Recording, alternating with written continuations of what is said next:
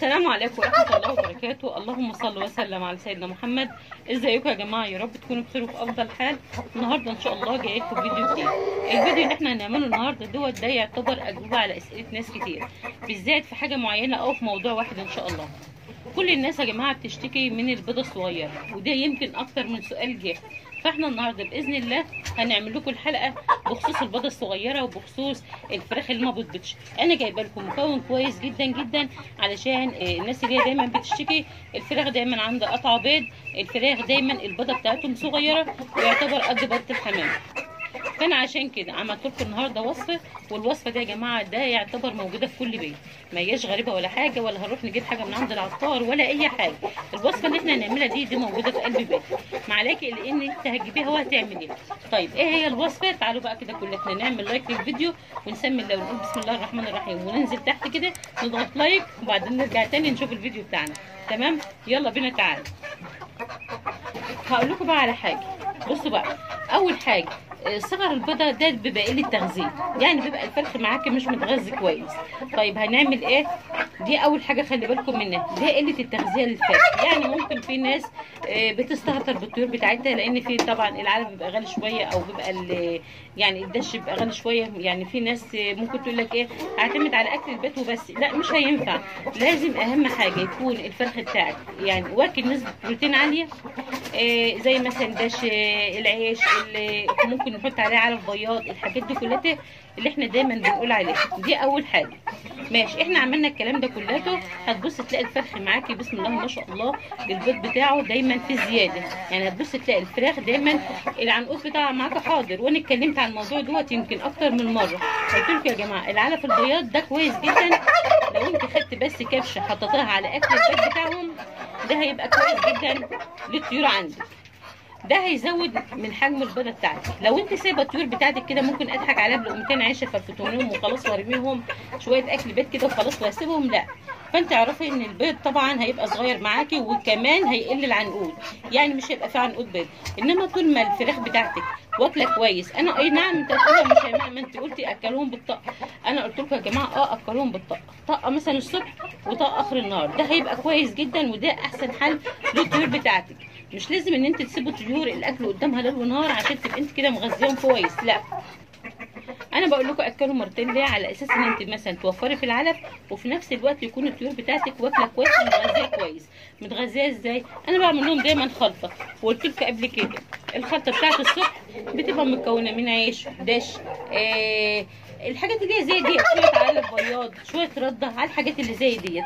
الرده حلوة برضه. في ناس بتقول لي لا ال- الرده بت... ما بتبقاش حلوة للطيور. لا يا جماعة الرده حلوة للبيض وللطيور لأن الرده فيها نسبة كالسيوم وده حلو قوي للبيض. والناس اللي هي دايما بتشتكي آه، البيضه عندي بتبقى بريش أو البيضة بتبقى القشرة بتاعتها رقيقة الحاجات دي كلها دي بتبقى حلوة. الوجبة ديت بتبقى كويسة جدا الصبح. يعني مثلا إيه الصبح بنعلفه معلفه كويسة جدا اللي هي بتبقى إيه الخلطة اللي أنا قلت لكم عليها ديت. بنيجي العصر لو أنا عندي بواقي بيت ولا حاجة شوية عيش شوية رز. وخلي بالكم يا جماعة الرز ده كويس جدا. لو أنت عندك بواقي رز حطها على أكل الطيور. وبسم الله ما شاء الله هتشوف البيض بعد كده. النهارده أنا عاملة لكم الخلطة دي كويسة جدا. شاء الله هتشوفوها معايا.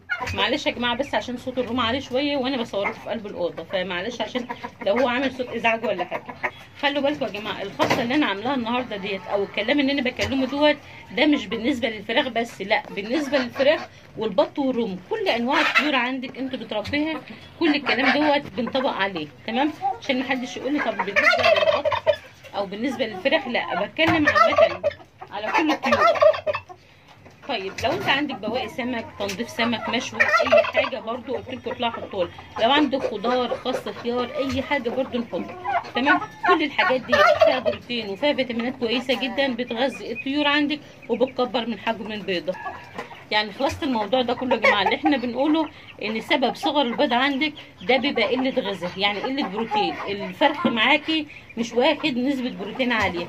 لأن لو أنت عايزه البيضة تبقى كبيرة معاكي أي نعم أنا كنت دايما أقول لكم لو الفراخ شمرت ده بيبقى شيء طبيعي إن البيضة بتاعته بتبقى صغيرة. يعني في ناس دايما بتبعت لي بتقول لي الفراخ بتبقى صغيرة.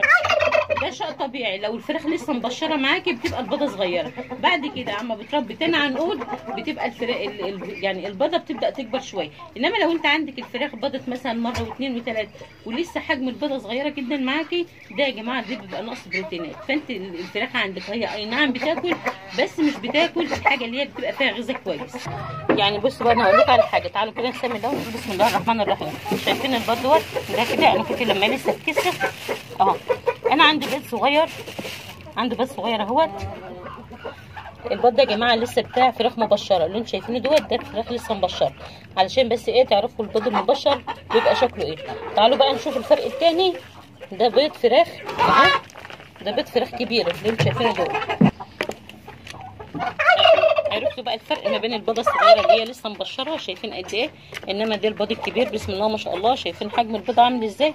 ده بتاع الفراخ الكبيرة يا جماعة العتاش تمام؟ فاحنا عايزين حجم البيض بتاعنا يبقى كبير زي ما أنتم شايفين بالحجم ده كده. طب هنعمل إيه؟ هنعمل بقى الخلطة اللي أنا عاملاها النهارده وإن شاء الله هتشوفوها معايا. أما بقى لو أنت عندك الفراخ كبيرة وبتبيض لك البيضه الصغيرة. قد دي كده؟ ده طبعا لازم تقلقي وتسألي برضه. وإن شاء الله هتعمل الخلطة اللي إحنا هنعملها النهارده ديت. وبعدها بإذن الله هتشوفوا بقى حجم الفراخ عندك وهتشوفوا بقى إن شاء الله حجم البيض عندك عامل إيه. فتعالوا بقى كده نشوف الخلطة اللي أنا عاملاها النهارده اللي دايما أقول لكم يا جماعة بنعملها دي. دي شيء أساسي أنا بعمله للطيور بتاعتي على طول دايما. شايفين ده عيش؟ أهو. عيش مع داش. لو فيش يعني في شوية رده ولا حاجة أنا بحطهم كل الكلام ده كله. بس أهم حاجة بحط داش وبحط عيش. تعالوا بقى كده نشوف الخلطة اللي أنا عاملاها النهارده أو المكون اللي أنا هعمله النهارده معاكم. ده يا جماعة شايفين أنا عاملة إيه بقى؟ ده رز. اللي أنتوا شايفينه ده ده رز. الرز دوت ده أكتر حاجة هيخلي الفراخ تبيض معاكي وتخلي الفراخ تج... البيضة بتاعتها تكبر وتبقى بسم الله ما شاء الله أحسن من البيضة اللي هي بتتشرى من بره. عارفين بيض المحلات اللي هو بتبقى بيض المزارع والحاجات ديت؟ ده. ده خلي بالكم يا جماعة الرز دوت لو انت داومتي بس عليه كده عملت حتى مرتين ثلاثة في الأسبوع بسم الله ما شاء الله. شوفي حجم البيض بعدها هيبقى عامل إيه وشوفي كمان الفراخ اللي لو انت عندك الفراخ بيضها عزيز أو يعني كل فين وفين على ما بتبيض هتبصي تلاقي دايما العنقود بتاعها محضر معاكي. كل يوم هتبيض معاكي بيض. ده يا جماعة الرز دوت ده بيبقى فيه نسبة بروتين عالية. خلي بالكم في معادن في بروتين وفي بسم الله ما شاء الله هقول لكم كمان ده بيقوي المناعه بتاعتهم. يعني الرز ده بيقوي المناعه بتاعتهم. في نسبة فيتامينات كويسة جدا. ده اللي بيخلي البيض بسم الله ما شاء الله يكبر معاكي ويخلي دايما الفرخ محضر العنقود يعني دايما الفرخ بيبيض باستمرار. تمام؟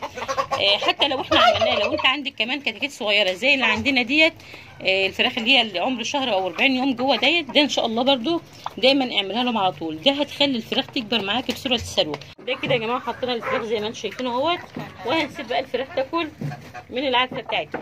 دي يعتبر علفه كلها بروتينات كويسة جدا للفراخ. بالشكل ده كده يا جماعة الناس اللي هي دايما بتعاني من قلة البيض أو البيض بتاعها صغير ولا حاجة بتاع الفراخ بتاعتها ده هتخلي الفراخ عندها يكبر ويبقى كويس جدا. الحجم بتاعه يبقى كويس. تعالوا بقى نشوف المية بتاعتنا هنحط لها إيه. أنا عندي المية اهيت ده المية بتاعت الرز. لو أنتوا حاسين إن هي شوفوا عاملة إزاي عاملة زي المهلبية كده. أكنها كلها نشف ده يا جماعة مية الرز. ده بتبقى برده ف... لها فوائد كويسة جدا. للطيور عندي. أنا دلوقتي هحط الطيور عندي لا في المية. تمام؟ هنحط كده نص الكمية في المية اهيت